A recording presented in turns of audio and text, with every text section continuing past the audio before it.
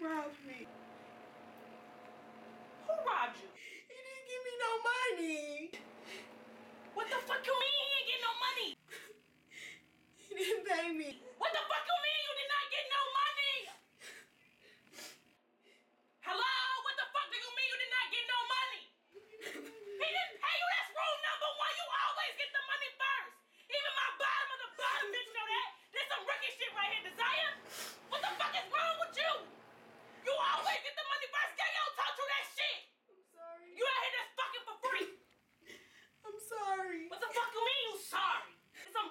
right here, Desire.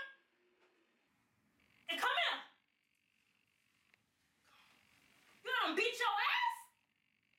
I told you to fight the fuck back. You, where's your brain at? Look, check this shit out. It, it ain't no PTO. Ain't no off days. This ain't no corporate fucking business.